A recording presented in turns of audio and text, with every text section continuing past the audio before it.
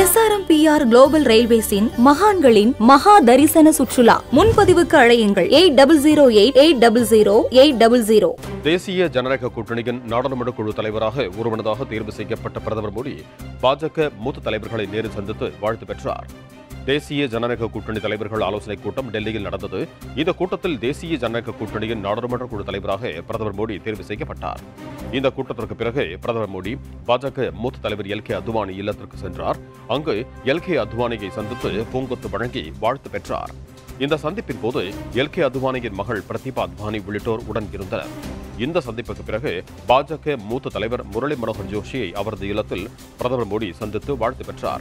பின்னர் முன்னாள் குடியரசுத் தலைவர் ராம்நாத் கோவிந்தை அவரது இல்லத்தில் சந்தித்து பிரதமர் மோடி வாழ்த்து பெற்றார். அப்போது பிரதமர் மோடிக்கு இணைப்பு வழங்கி ராம்நாத் கோவிந்த் வாழ்த்து தெரிவித்தார்.